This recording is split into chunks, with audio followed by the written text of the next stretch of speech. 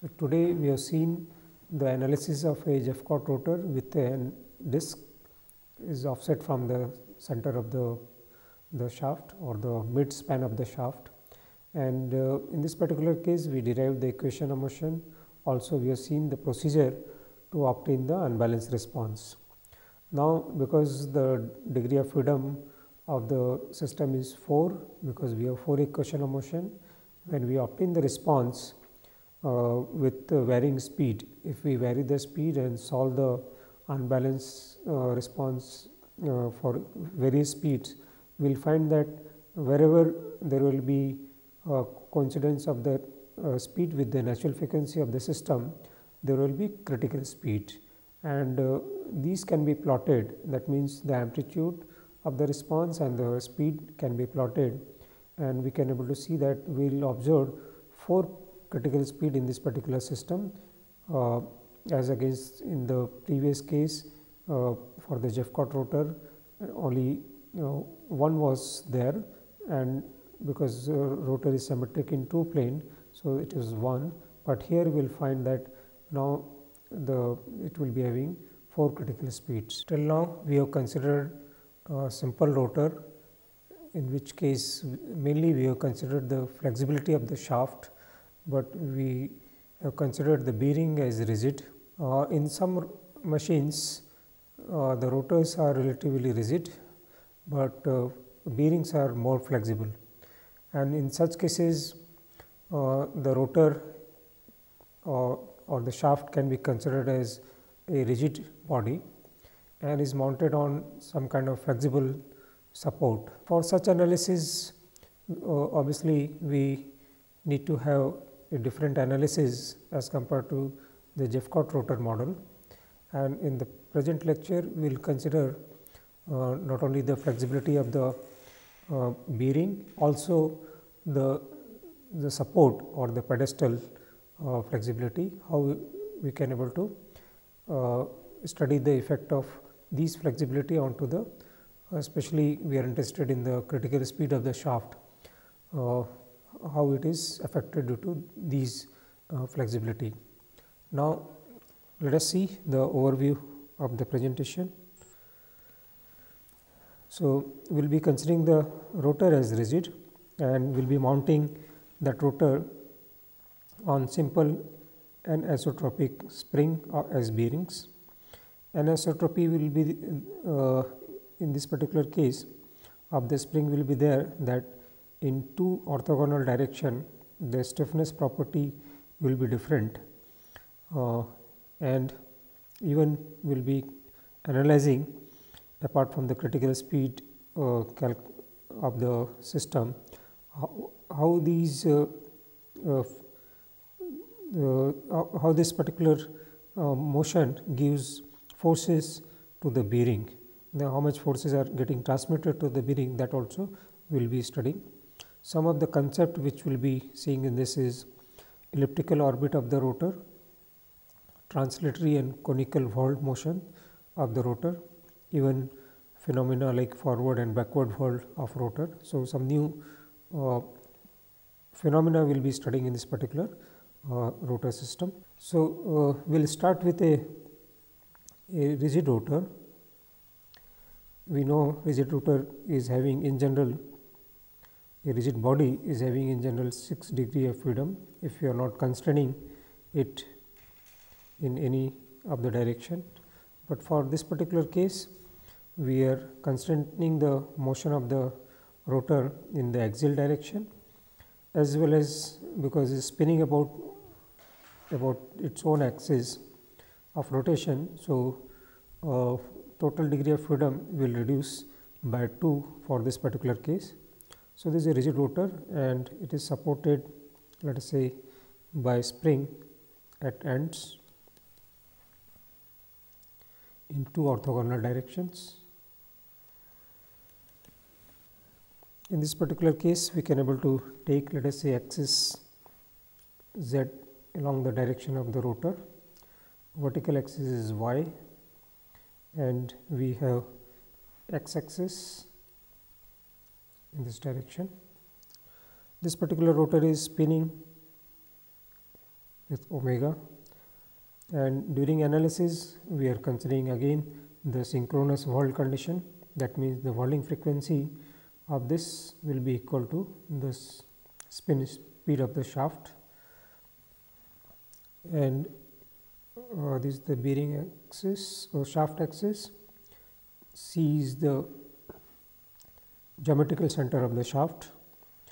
Uh, in this particular case the G is here let us say that is offset in the radial direction that is by ER sorry uh, this is offset in this axial direction by Ez and offset in the radial direction is also there that is ER. So, we have not only the radial eccentricity, but also the axial eccentricity and because of this not only we will be getting the unbalanced force, uh, but also we will be getting the unbalanced moment. So, in this particular case let us say the centrifugal force is acting at g is m e omega square.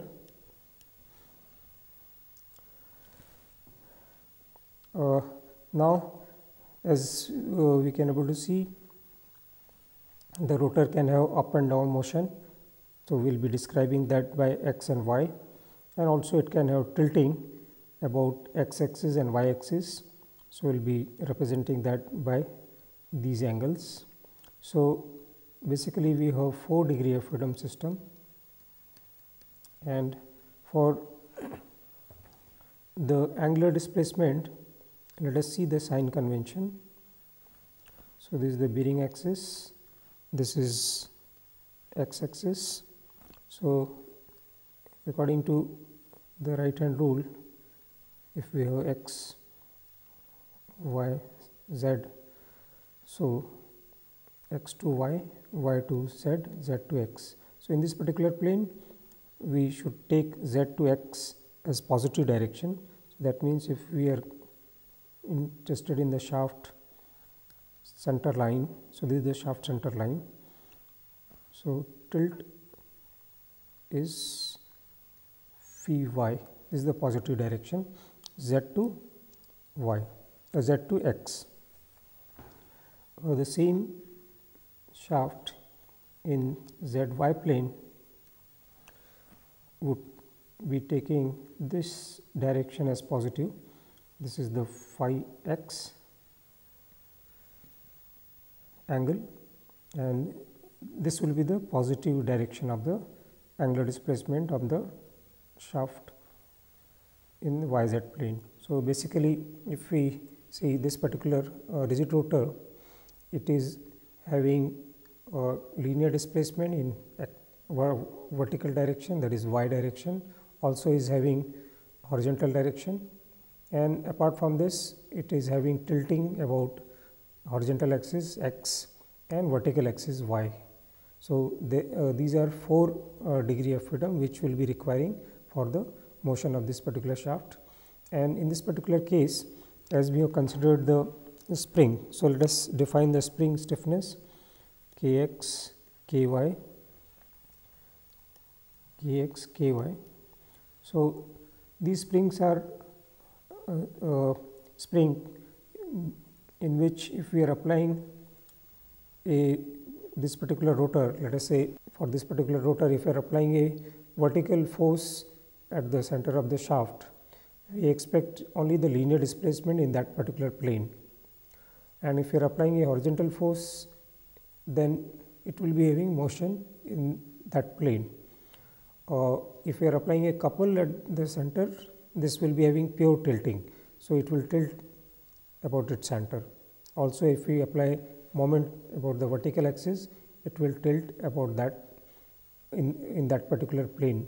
So, as such the bearing property which we have considered at present, they are such that uh, all the 4 degree of freedom are uncoupled. That means, we can give to this particular rotor the vertical motion, translatory motion independent of other motion. Similarly, in horizontal plane and if you are giving a tilting so there is no translatory motion only pure tilting is taking place uh, similarly in the, the other plane. So, that means in this particular case if we want to analyze the rotor we can able to give uh, various motion independent of each other. Uh, so, in this particular case we can able to give the motion independent to each other. So, let us say I am giving a motion to the rotor purely in the y direction. So, I am giving this particular displacement to the rotor and this particular displacement is y. So, because of this what will happen to the spring they will get stretched and because of that it will give a force at ends to the rotor. And apart from this, uh, this is the center of gravity position. So, we will be having a force in x direction as centrifugal force this one. This force we can able to see separately how this unbalanced force is coming. So, let us see in x y plane the rotor, this is the center of rotation, this is the center of gravity and we have elastic force in y direction and x direction. So, this is y direction uh, because two springs are there. So, it will be twice of this and in x direction 2 k x x and centrifugal force is acting m e omega square. Our reference axis for time is x axis. So, this is omega t. So, you can able to see the component of the force in x direction is m e omega square cos omega t and component of the unbalanced force in y direction is m e omega square sin omega t. So, this particular component uh, we have taken here this is unbalanced force in the y direction and uh, we uh, define the axial eccentricity as E z. So, this is the position of the uh, so, C is here and G is this location. So, now you can able to see if we uh, do the force balance in y direction, we will get the equation of motion uh, like this 2 k x y y. Uh, then we have these these forces are opposite to the displacement direction. So, negative unbalanced force is in the positive y direction. So, there is and then it should be equal to the inertia of the rotor. So, it should be equal to inertia of the rotor. So, from this we we got one equation of motion that is m y double dot plus 2 k y y is equal to m e omega square sin omega t. Uh, on the same line if we draw the free body diagram of the rotor in uh, other plane that is z x plane, it will be easy it will be on the similar lines we can able to obtain equation of motion like this. So, instead of sin omega t we have a force we have force f x m e omega square cos omega t. So, that term will be coming here. So, these are two equation of motion uh, which we obtain by giving two independent motion in y direction and x direction. Now, we will see the tilting motion if you want to give tilting motion to the rotor, uh, let us say in y z plane, z is the bearing axis and y is the vertical direction. For this we need to have direction y to z for tilting of the rotor. So, let us say rotor is tilting about its center. So, this angle is phi x and the springs are at the ends.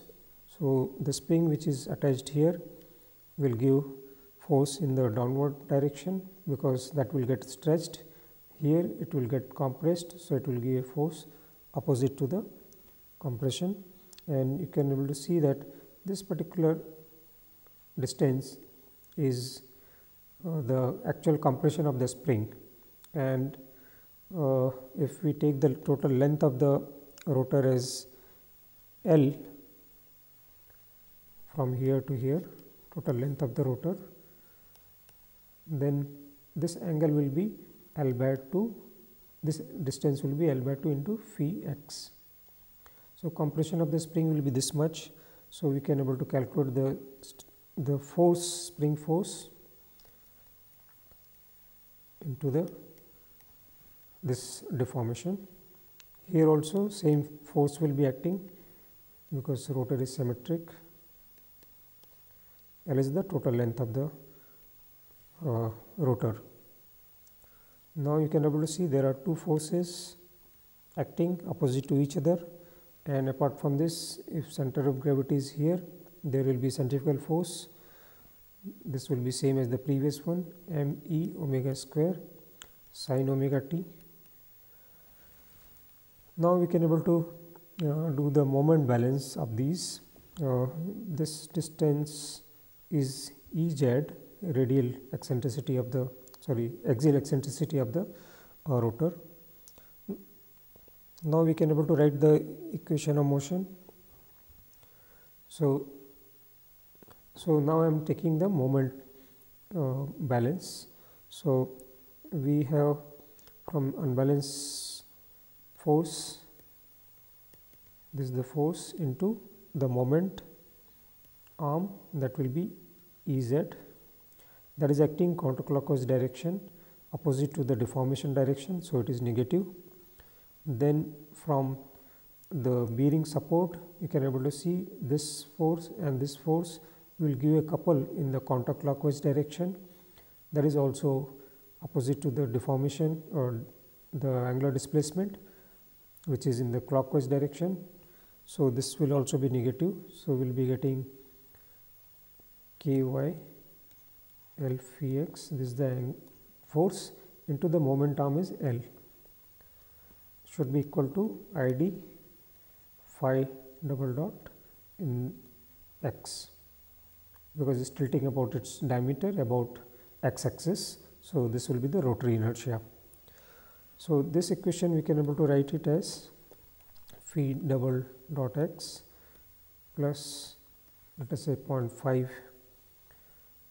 phi x k y L square is equal to m e omega square E z sin omega t. So, this particular moment balance we obtain in y z plane. Now, similar expression we can able to get in the z x plane uh, that we can able to write directly now. So, in that particular plane the angular displacement is about phi axis y axis and so these expressions can be written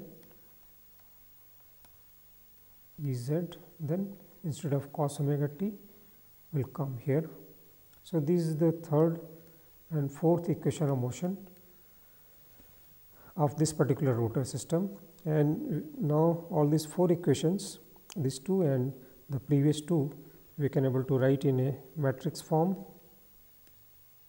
Uh, the four equations which we obtained if we see carefully all these equations have been obtained by giving uh, displacements in uh, x direction, y direction and two angular direction independent of each other.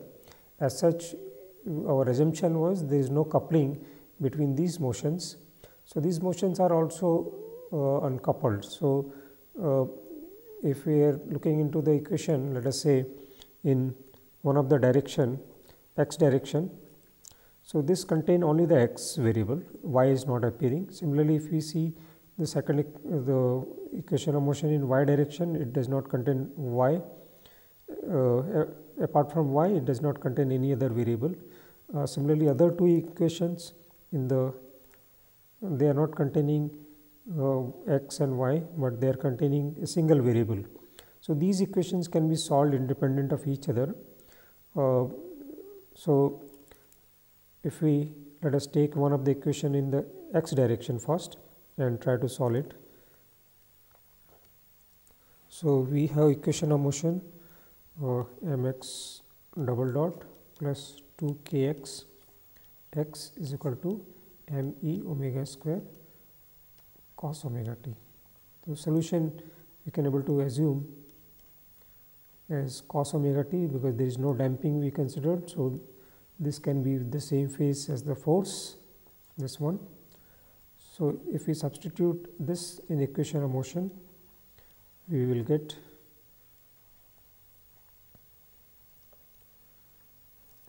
capital X plus 2 k x capital X cos omega t term will be common.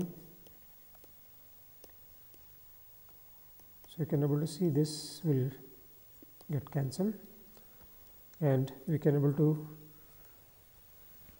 solve for x that will give us m e omega square divided by 2 k x minus m omega square think here double m is coming. Only single m will be there. So, this is one of the solution. On the same line you can able to see we can able to write the equation for y like this.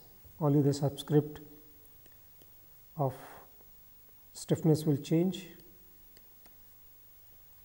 Now, looking into these two equation, uh, the solution will be x cos omega t and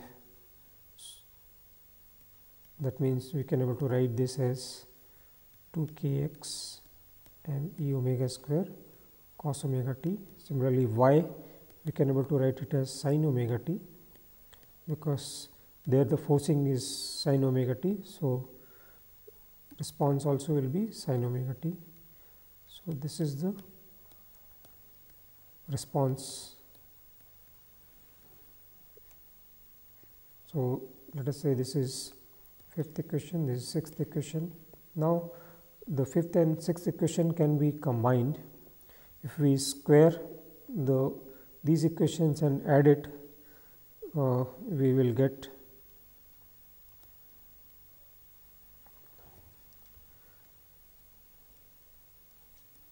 say I am squaring this and this.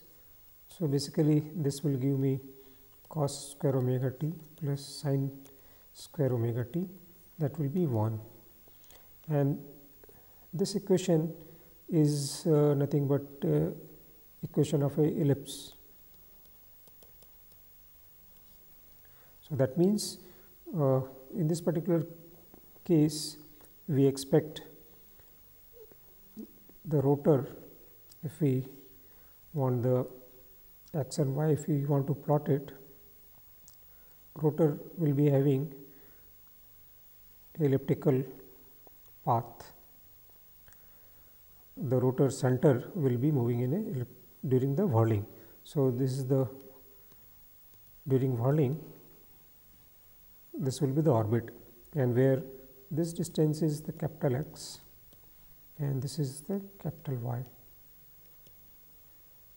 Uh, and this ellipse orientation will be along the x and y direction. So, it, this ellipse is not inclined because we have taken the uh, the spring system simple in this for this particular case. Uh, we will look into this uh, orbit in more detail, uh, let us first see the critical speed of the rotor. So, we have the response here.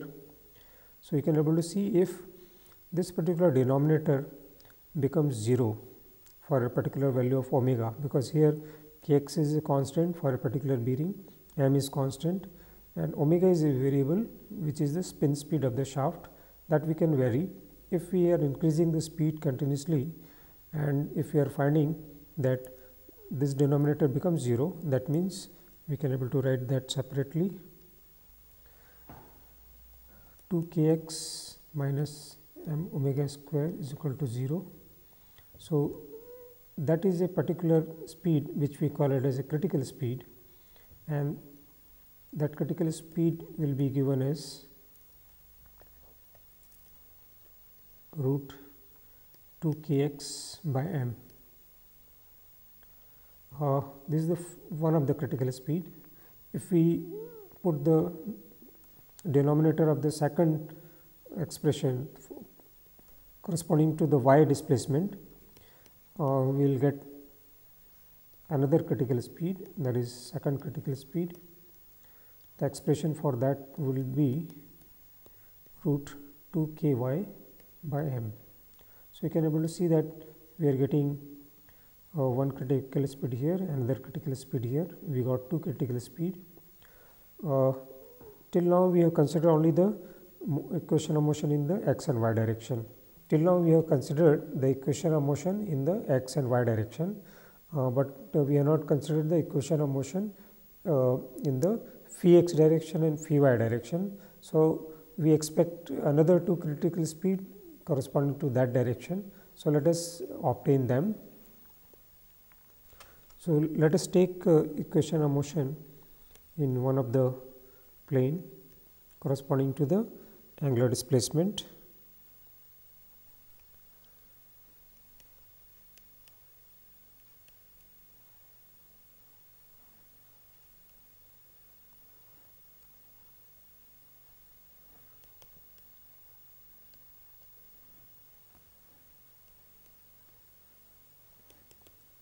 This, this was one of the equation of motion and if we take the solution of this let us say capital phi x and e j omega uh, and same as sin omega t because there is no damping. So, response will be the same phase as the force and this we can able to substitute in the equation of motion to get this equation is a capital phi x.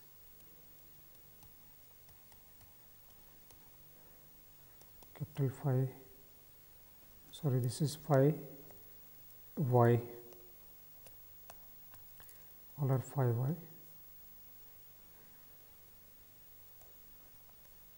Sin omega 2 will will go from both sides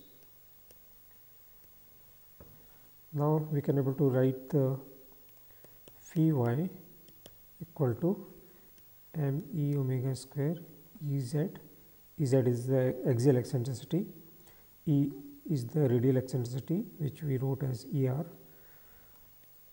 So, we can able to write this as 0.5 k y L square minus omega square I d. So, you can able to see on the same line we can able to write the amplitude in other direction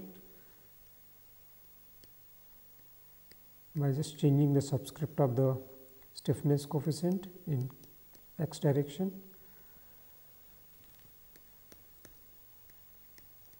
ID is the diametral mass moment of inertia of the rotor. Now, again we can able to see if these denominators are 0 we will get critical speeds. So, I am equating the first one equal to 0. So, I am calling this as third critical speed. So, this will give me critical speed the third one equal to 0.5 k y L square divided by I d. Similarly, from here we can able to get the fourth critical speed that will be 0.5 k x L square by I d. So, uh, we could able to get 4 critical speed. Apart from this, if we see the solution which we assumed here for k uh, epsilon sorry for phi y the for phi x the solution will be of this form.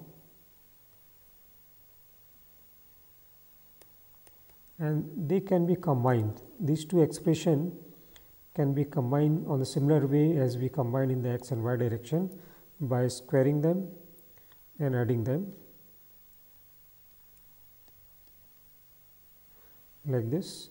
So, this will give us this capital phi is the amplitude and small phi is the time dependent term. So, that means in this particular case also we are getting the uh, equation of an ellipse. We will analyze this motion uh, carefully how uh, this will be. So, in, in both the case in the linear case and the angular uh, displacement case we got that uh, the this displacement is uh, giving a some kind of elliptical motion. So, let us see try to see this motion uh, how they they would be how it will be elliptical. So, first is the translational motion. So, both translation motion we can able to consider simultaneously. So, if this is the rotor rigid rotor. So, uh, what is happening this particular rotor is having only pure translation motion in x and y direction it is not tilting and it is whirling. So, is not only it is spinning about its own axis, but during that is whirling. So, whirling path is basically this particular path if we see from this side this particular path is elliptical. So, uh, this is the motion which we obtain uh, as ellipse path x and y direction. So, this will be the elliptical path. So, not only it is spinning, but also it is whirling and whirling uh, the motion is in, in the ellipse. The second motion of the tilting, pure tilting is, is, is tilting about its center and so it will be something like this, the center remains stationary and ends are moving and ends are moving in an ellipse. So, if we see this particular path of the end this will be moving in ellipse. So, if, if we see from the side again it will be having elliptical path not only it is spinning about its own axis, but also it is having conical motion about its center of the shaft. So, let us see this particular motion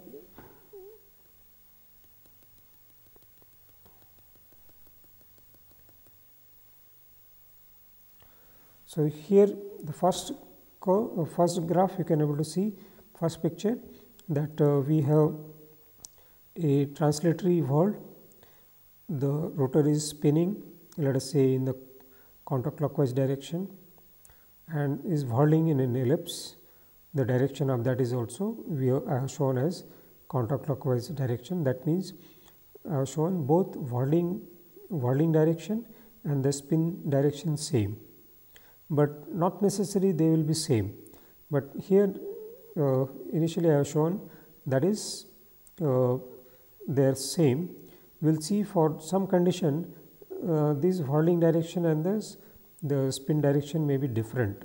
So, that means if you see this second the, the third case in which uh, the spin direction is still in the same counterclockwise direction but whirling direction is clockwise. So, that means the shaft is spinning in one direction and in the first case is also whirling in the same direction. Second case shaft is whirling in the same previous direction, but now it is whirling in the opposite directions. So, these two cases we can able to uh, call as a synchronous translational whirl or anti-synchronous translational whirl. Similarly, if we see the conical whirl, in conical whirl the shaft let us say is rotating in the counterclockwise direction and the ends of that if we see uh, they are having conical uh, elliptical path, but they are having the same counterclockwise direction rotation. So, this is synchronous conical whirl motion and So, basically if you see each and every particle of the shaft will be having same motion elliptical may be different magnitude, but sense of the rotation will also be same. This is another case in which this conical whirl is there, the spinning is in the counterclockwise direction, but whirling is in the clockwise direction. So, this particular case we call it as a anti-synchronous conical whirl. In this particular case, the spin speed direction and the whirling directions are different. Now, we will see uh, for these two kind of uh, translatory and conical whirl when it will be there is synchronous whirl when it will be anti, anti-synchronous whirl those analysis we will see in detail. So, for that we let us we are assuming some quantities like we are assuming the stiffness of the spring in x direction is less than the y direction uh, and because of this we will find that we define the critical speed corresponding to the x direction as first critical speed. So, we will be having first critical speed less than the second critical speed which we define for the y direction whirl. Now, I am taking a one case in which the rotor speed which is omega because these critical speeds are fixed for this particular rotor system. The spin speed or rotor speed we can able to vary. So, let us say this rotor speed is uh, first we are operating below the first critical speed. Uh, for this particular case let us see what will be the whirl direction. Uh, in this particular case uh, let us again see the expression for the displacements which we derived earlier. So, this was 2 k x minus m omega square cos omega t which was we wrote as capital X cos omega t and y is m e omega square 2 k y m, m, m omega square sin omega t which we wrote as capital Y sin omega t. Now, uh, because now we are rotating at below the first critical speed. So, that means you can able to see that if we substitute uh, we can we can able to rearrange these equations such that we can able to write this as m e if we take out let us say m from denominator. So, we will get this is first critical speed square minus omega square cos omega t and y as we take out m from the denominator. So, it will cancel from the numerator.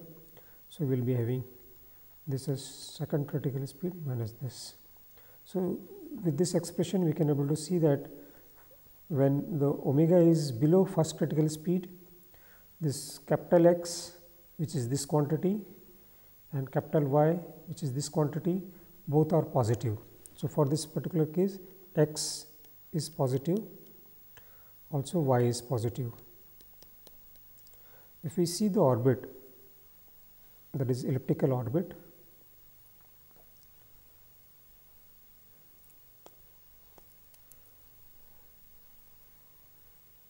say this is the elliptical orbit.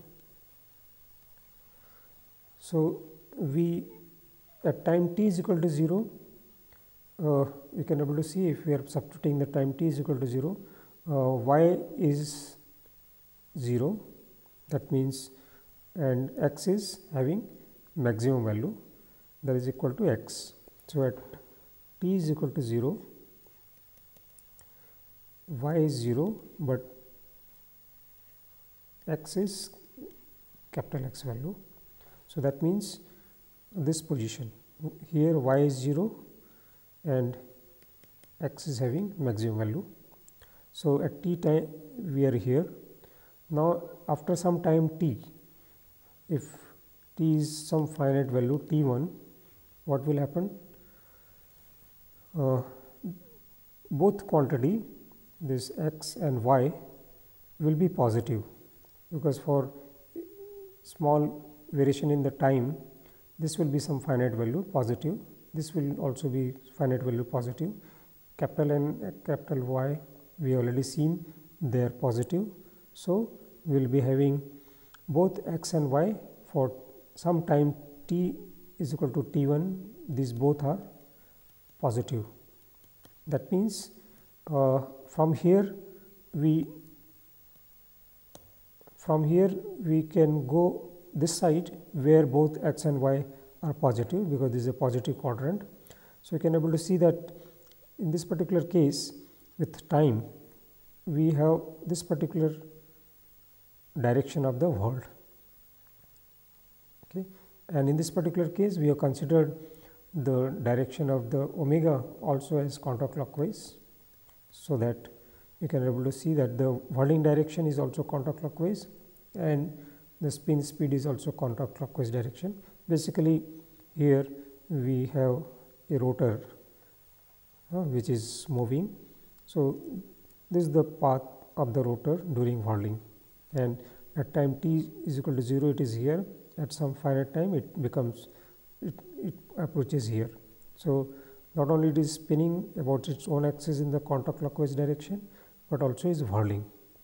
So, we saw that for this case when we are rotating, rotating the rotor in below the first critical speed uh, and this uh, for the, this particular condition in which I think uh, the second critical speed is more than the first one, we have the forward or the synchronous whirl condition. Synchronous whirl condition, both are having same direction of whirling. Now, let us see the second case in which now we are operating the rotor between two critical speeds.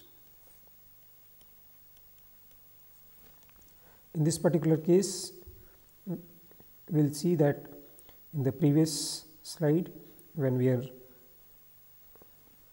here, when omega is more than the first critical speed, this quantity which is capital X will be negative. negative and this quantity because this is more than the first critical uh, more than the omega because omega is in between the two critical speed so, this quantity will be positive. So, in this particular case x is negative and y is positive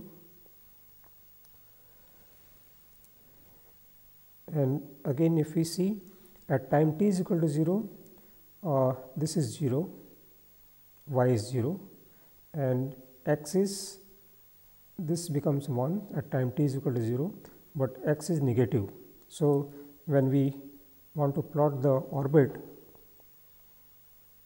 of the shaft, let us say this is x direction, y direction, uh, at t is equal to 0, x is negative and y is 0. So, y is 0 and x is negative that means it is only possible when when we are at time t is equal to at this position because no other position the at x is equal to negative y is 0 except this position. So, at t is equal to 0 we are here. Now, at time t is equal to t 1 uh, again we will go to the equation we will see that uh, these two quantity this is this become positive this remains negative, but uh, they will become some finite. So, they will not be 0 and for that particular case we will see that x remain negative, y becomes positive and this condition is will prevail if we are moving from here in upward direction because here x is negative and y is positive. Here is not possible because both x and y are negative. So, only possibility that after time t 1 this will reach here. So, that means you can see now is whirling in the clockwise direction. The spin direction we have not changed. The spin direction is the previous one counterclockwise direction.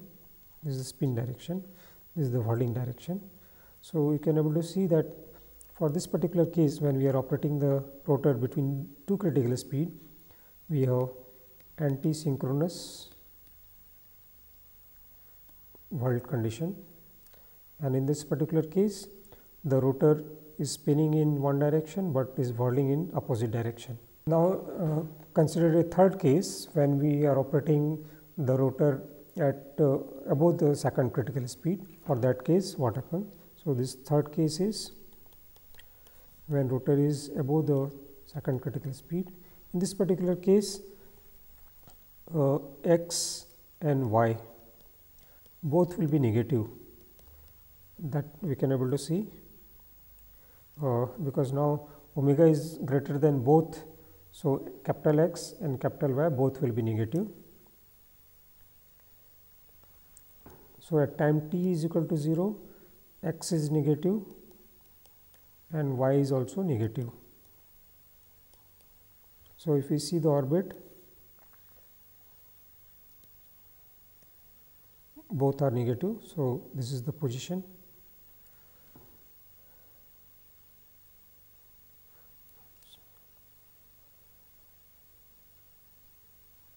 sorry uh, y is 0 again I am repeating. Okay.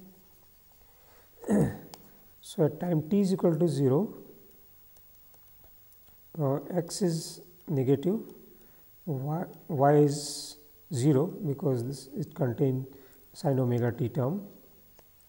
So, that means we are starting with this position uh, for time t is equal to t 1 x remain negative, y is negative now. So, the only possibility is it will occupy this position at t is equal to 0 here and at t is equal to t 1 t is equal to t 1 here. So, that means you can able to see now the rotor start whirling in the same direction as the spin speed that is counterclockwise direction. So, in this particular case again rotor will start whirling in the same direction. So, we will be having synchronous whirled condition, but here we will be having uh, because of nine, uh, negative sign we will be having uh, this 180 degree phase between the response and the uh, between the response and the uh, force. So, uh, we have seen that how a rigid rotor which is supported on anisotropic bearing having stiffness property different in two direction can give rise to four critical speeds, uh, two related with the translational motion of the rotor and two related with the tilting or the uh, there is a rotational displacements. In this particular case, we have not considered the axial vibration of the rotor, also no, we have not considered the torsional vibration of the rotor, only the transverse vibration we have considered. In this, we have observed that uh, the path of the, the, the shaft during whirling, when we consider let us say pure translation, it is an ellipse. Also, when we are considering uh, pure rotating uh, this tilting motion, that is also ellipse, but that is in conical whirl. So, first corresponding to the translational uh, whirl and another is the conical whirl. And in both cases each and every particle of the shaft execute a ellipse. And uh, we have seen that as we change the speed for linear case we have seen that when we are changing the speed uh, the direction of the whirl changes. When we are below the critical speed or in between the two critical speed and after the third critical speed the whirling direction changes. The same analysis is valid for the, the conical whirl also. There also in the same line we can able to say that when we are operating the rotor below third critical speed we will be having synchronous whirl and between third and fourth we will be having anti-synchronous whirl and after fourth critical speed again it will become synchronous whirl. So, uh, in this particular lecture we have seen very interesting uh, concept of the whirl, especially how it changes its direction when we change the speed. So, in the today's lecture we have seen analysis of a Jeffcott rotor, but uh, the disk was offset from the mid span. In the Jeffcott rotor case, we had two degree of freedom system that is uh, because there was no tilting of the disk. So, we had uh, Uh, equation of motion in 2 in numbers. So, we expect 2 critical speed in that particular case, but the because shaft is symmetric. So, effectively we get one single critical speed in that particular case. In the present case when disk is offset, we have seen that it is a 4 degree of freedom system and we expect 4 critical speed from this, but because of the symmetry in two plane that means in the vertical plane and horizontal plane effectively we will get 2 critical speeds only and uh, this particular uh, wobbling motion in this uh, again I am repeating the last sentence. Uh, so, in this lecture even we have seen the wobbling motion or the tilting motion of the disc and uh, in subsequent lecture we will see that this wobbling or the tilting motion along with the spinning gives gyroscopic couple also and uh, in subsequent lectures we will, we'll analyze those motions also.